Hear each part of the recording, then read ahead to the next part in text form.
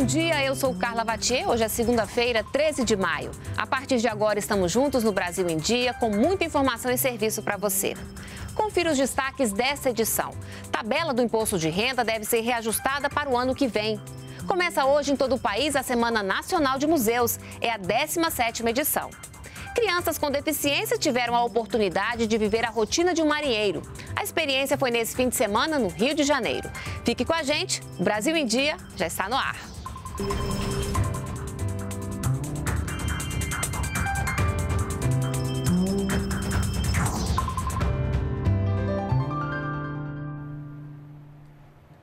São 9 horas e 45 minutos. Estamos ao vivo também pelas nossas redes sociais. A tabela do imposto de renda pode ser reajustada no ano que vem. Vamos então até o Palácio do Planalto conversar com a repórter Daniele Popov, que tem as informações para a gente. Oi, Dani, bom dia para você.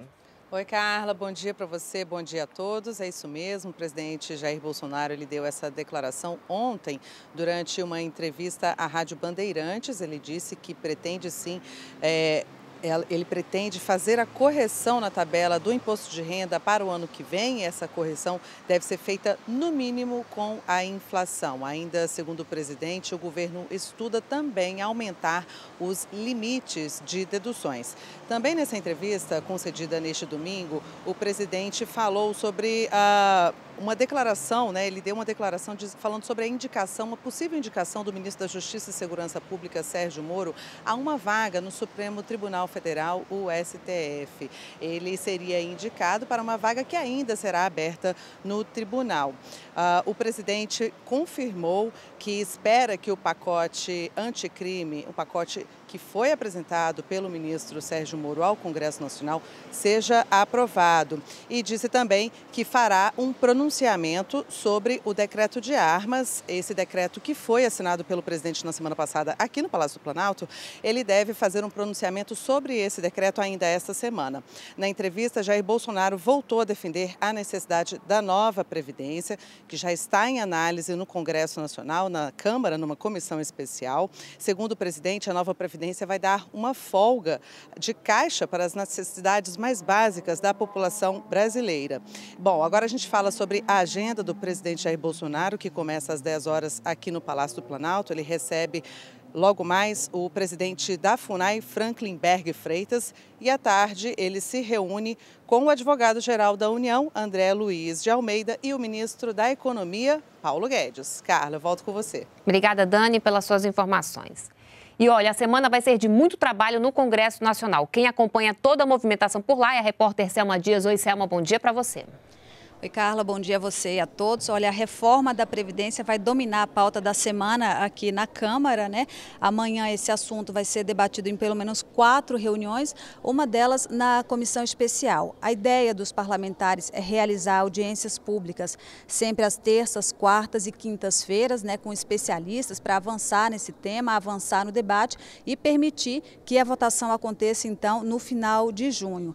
A comissão mista de orçamento, que discute aí a lei de diretrizes orçamentárias para 2020, vai receber amanhã dois nomes de peso, não só amanhã, na verdade. Amanhã nós teremos o ministro da Economia, Paulo Guedes, e na quinta-feira teremos o presidente do Banco Central, Roberto Campos Neto. Com o ministro, né, os parlamentares devem discutir as, a proposta propriamente dita da LDO, que prevê, por exemplo, aí, reajuste do salário mínimo para R$ 1.040, apenas com reposição inflacionária, sem ganho real, também o déficit previsto de 124 bilhões de reais nas contas públicas, além do bloqueio de 30% das verbas aí de custeio das universidades e dos institutos federais.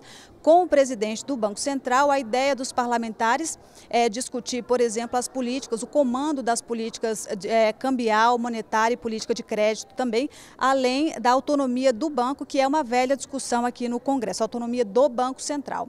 Por fim, reforma administrativa, né? Nós temos aí a previsão de que o Senado, o plenário do Senado e também da Câmara avance na votação que precisa ser feita para discutir essa MP que reestruturou a esplanada, reduziu o número de ministérios e permitirá também a criação de duas novas pastas das cidades e da integração. Essa discussão acontece nos plenários primeiro da Câmara, depois do Senado e deve acontecer até o dia 3 de junho, que é quando essa MP perde então a validade. Esses são os assuntos aqui do Congresso, a gente vai continu continuar acompanhando essas e outras pautas. Carla, eu volto com você. Obrigada, bom trabalho aí para você, Selma. Começa hoje em todo o país a Semana Nacional de Museus. Vamos então ao Rio de Janeiro conversar com a Alessandra Lago. Alessandra, é um bom programa, inclusive para levar a família toda, né? Bom dia para você. Bom dia, Carla. Então, é isso mesmo, é um bom programa para levar a família. A gente está aqui no Palácio do Catete, que é onde funciona o Museu da República, fica no Catete, na zona sul do Rio, e onde vai acontecer várias atividades da Semana de Museus. Esse é um evento organizado pelo Instituto Brasileiro de Museus, o IBRAM, e que acontece em todo o país para comemorar o Dia Internacional dos Museus, que é comemorado no dia 18 de maio. São mais de 1.100 instituições de cultura que vão promover mais de 3 mil eventos, como visitas guiadas, exposições e apresentações musicais. Aqui no Museu da República, o tema da semana é Museus como Núcleos Culturais, o futuro das tradições. Logo mais, a partir das seis e meia da tarde, acontece o seminário Haja Tanto para Ontem. Haja hoje para tanto ontem. A fotografia no trânsito da história, que é uma reflexão sobre a prática fotográfica como fonte, objeto e agente da história. No Maranhão, o destaque é o Centro de Pesquisa de História Natural e Arqueologia. Vamos conferir. A Semana Nacional de Museus está em sua 17ª edição, trazendo como tema Museus como Núcleos Culturais, o futuro das tradições, que propõe um debate sobre o papel dessa instituição como centros emanadores e também receptores de costumes, práticas e pensamentos da nossa cultura.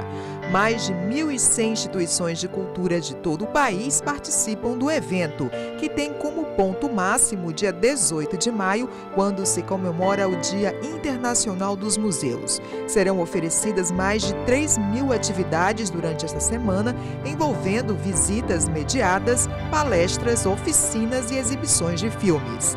No Maranhão, a programação fica por conta, entre outros, do Museu Histórico e Artístico do Maranhão, que reconstitui uma casa ambientada com os costumes do século XIX. A Fundação da Memória Republicana, que abriga uma parte significativa da nossa história.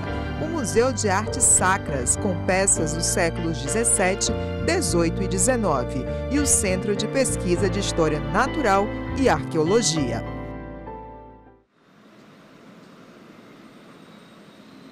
A programação completa está disponível online no site www.museus.gov.br. É, lá é possível encontrar todas as atividades por estado, cidade e museu. Voltamos contigo, Carla. Tá certo, Alessandra. Muito obrigada pela sua participação. E agora, informação importante para os passageiros. Começam a valer as novas regras para a bagagem de mão em mais cinco aeroportos. Vamos então a São Paulo, porque o Ricardo Ferraz tem os detalhes para a gente. Oi, Ricardo, bom dia para você. Bom dia, Carla. Pois é, quem pretende embarcar nos aeroportos de Congonhas, em São Paulo, Santa Genoveva, em Goiânia, Salgado Filho, em Porto Alegre, Galeão e Santos Dumont, no Rio de Janeiro, deve ficar mais atento. A partir desta segunda-feira, nesses aeroportos, as bagagens de mão passarão a ter uma medida padronizada. Só serão aceitas dentro das cabines malas com no máximo 50 centímetros, 55 centímetros de altura, 35 centímetros de largura e 25 centímetros de profundidade. Uma caixa será usada como gabarito. Malas que não passarem no teste terão de ser despachadas. E nesse caso, será cobrado uma taxa. O custo da franquia de um volume de 23 quilos varia entre R$ 59,00 para quem compra com antecedência e R$ 120,00 para quem deixa para o aeroporto.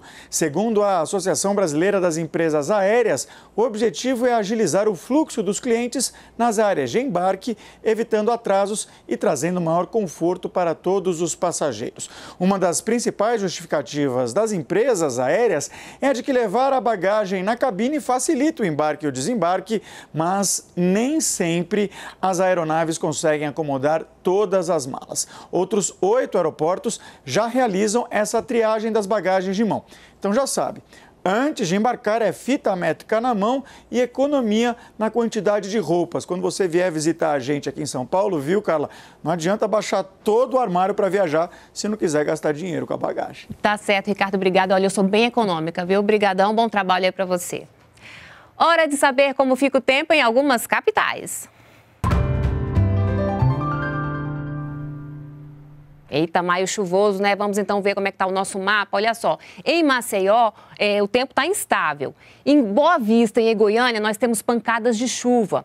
Em São Paulo vai ter chuva de tarde. E em Curitiba nós temos também pancadas de chuva. Agora vamos para as temperaturas mínimas e máximas. Olha só, em Palmas, mínima de 22, máxima de 33 graus, calorão por lá, mais 30% de possibilidade de chuva. Em Belo Horizonte, mínima de 18, máxima de 30 graus, 5% de possibilidade de chuva. E aqui em Brasília, mínima de 17, máxima de 28 graus, com 5% de possibilidade de chuva.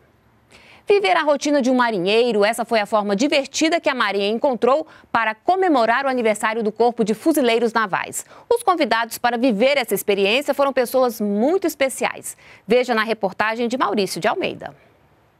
Conhecer a rotina de um quartel. Essa foi a experiência que 250 crianças que possuem algum tipo de deficiência tiveram no CIASC, o Centro de Instrução Almirante Silvio Camargo, que fica no Rio de Janeiro. No evento, um dia de fuzileiro naval e marinheiro, crianças autistas, surdas ou com dificuldades de locomoção participaram de diversas atividades educativas. Elas também conheceram como são treinados os cães da Marinha, se divertiram dentro do barco, como se estivessem em alto mar. Outra atração disputada foram os veículos blindados. No helicóptero, teve fila para entrar e se sentir como um piloto. No treinamento, ainda teve uma oficina de camuflagem, onde os pequenos aprenderam a pintar o rosto como um fuzileiro naval. Claro que não faltou muita brincadeira, e no final, os marinheiros mirins ainda ganharam um diploma de participação. O objetivo da Marinha é ajudar no processo de inclusão dessas crianças, se aproximar da sociedade e mostrar que as Forças Armadas estão presentes no dia a dia da população. Elas saem felizes, os pais saem felizes e nós saímos com um sentimento de responsabilidade social mais fortalecido. No sorriso de cada criança, era fácil concluir que o objetivo da Marinha foi alcançado.